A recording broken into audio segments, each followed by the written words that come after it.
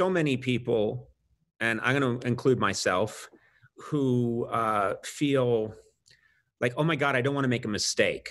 Yeah. I, I want to be an ally. I want to move the peace forward. I want to be the solution and not part of the problem. But I'm terrified of making a mistake. Mm-hmm. And that leads to, I think, a paralysis.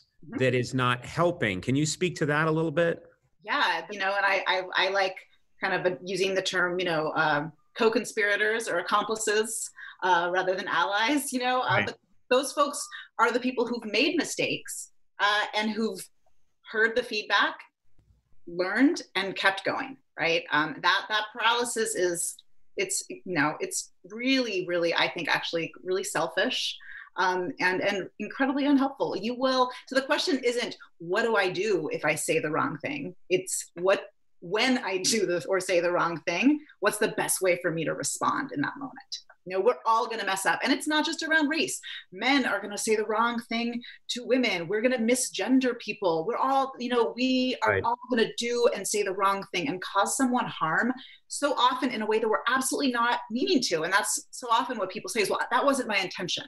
Like, right. well, I didn't mean that. I did, that wasn't my intention. But if, but if something that you do or say harms someone, uh, and and they let you know that what you need to be able to do is listen to them and hear them and understand how you can do better the next time you know if, and if we just let that paralysis uh, you know take over and we just don't say anything uh, you know that's that's that's part of the large systemic problem we have